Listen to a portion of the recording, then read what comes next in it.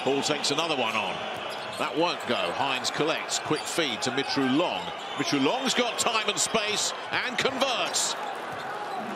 He's been a big reason why. Hall hits the deck, gets it back to Mitrou-Long. Clock's ticking. Mitrou-Long's got to take it on and nails it. Nails it. by Malikavicius. He'll take it. He'll take it. And it'll go. It'll go. Match that tonight.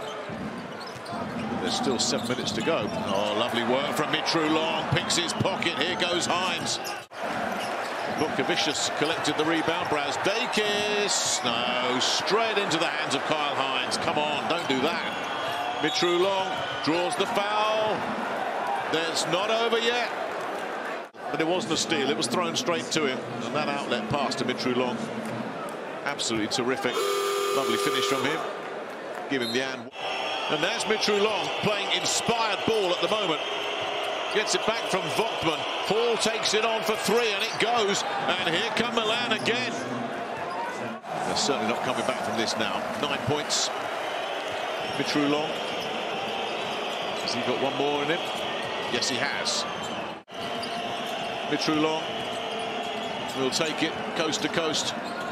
What a game he's had. And there's a foul.